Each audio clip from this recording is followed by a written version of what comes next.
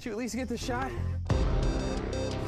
Man, you did not pay me enough for this. Hey, the channel's blowing up. That's all money right there, baby. But you know, we can make more. What if we turn this into a show?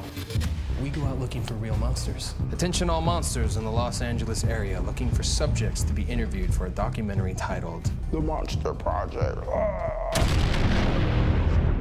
I don't think we should be going looking for those things. What is that? We got another response to the casting notice, and she's a vampire. We all love a good horror story. We like to pretend that monsters are real. The Monster Project. Scene one, take one. But what if they truly exist, living amongst us?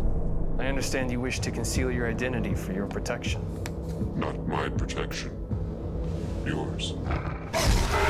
I see him away! Go away! Are you okay?